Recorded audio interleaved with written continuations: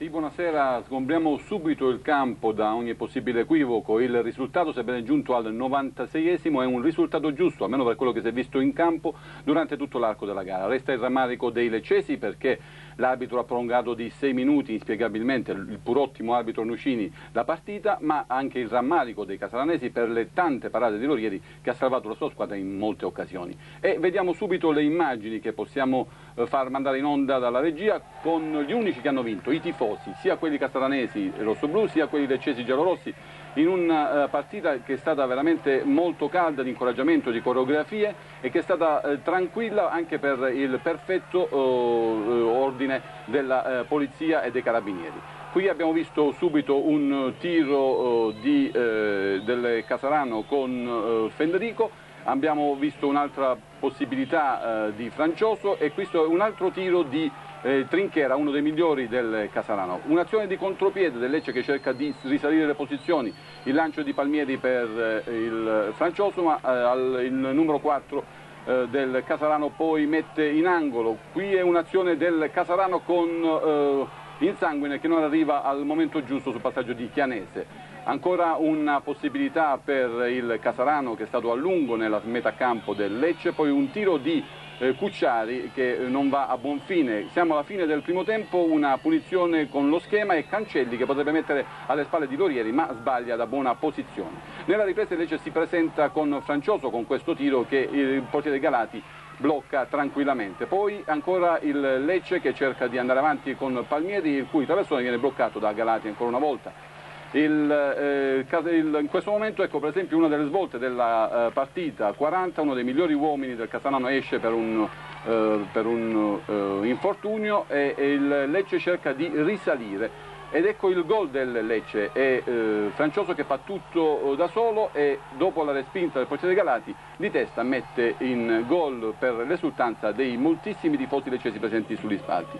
Il Catanano tenta di pareggiare, Francioso questa volta per poco non procura un guaio a Lorieri in difesa e poi va in attacco a cercare di incornare. Esce, eh, per, Lecce cerca di perdere un po' di tempo, esce Palmieri, entra Mazzeo e eh, il Lecce ha un'altra buona occasione sempre con Francioso il cui tiro viene sventato da Galati ma a questo punto siamo ormai oltre il novantesimo incomincia eh, il Catalano da, ad attaccare con, molta, con molto cuore diciamo così e prima Lorieri eh, che para, ancora una volta una splendida parata di Lorieri sul tiro sempre di Cancelli, uno dei migliori.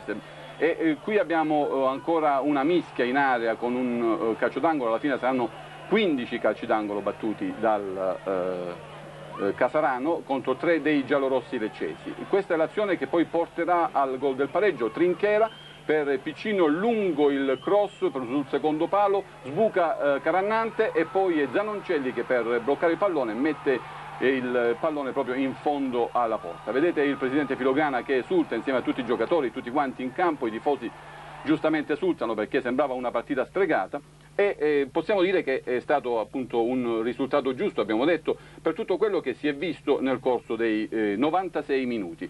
7.400 spettatori paganti, 165 milioni di incasso, un incasso record e eh, nel dopopartita gli allenatori non sono molto d'accordo fra di loro. Via l'intervista. Veramente una gran bella partita, un risultato giusto. Sì, credo che la gente si sia sicuramente divertita. Casalano ha giocato una grande partita e forse il risultato è giusto per come è maturato, ma credo che il Casalano avrebbe meritato anche di vincere. Abbiamo creato almeno 7-8 occasioni da gol dall'inizio, cioè dal primo minuto fino alla fine, quindi credo che se c'era una squadra che doveva vincere eravamo noi. Secondo lei questa partita dove si è giocata meglio? Ma direi che è stata giocata a tutto campo. Noi abbiamo cominciato a pressare i difensori, loro hanno cominciato a giocare, a attaccare i nostri, quindi è stata veramente una bella partita.